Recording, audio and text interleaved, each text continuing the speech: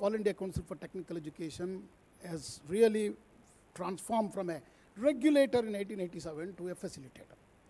Today, this institute actually, I was really mind boggled. That's the one of the reason I left IIT and joined this because I was watching them what they are doing. This is last seven, seven, eight years, uh, mind-boggling transformation in the area of policy where we can bring changes. That bringing change, not in just the mindset. That's what we are all assembled here in the first national conference on the uh, design thinking. So where we need to change the mindsets first. You know, we need to analyze the problem completely differently, considering the human values to the whole world. As a country, I think we have done exceedingly well in the last uh, 10, 15 years. It's, the progress is mind-boggling.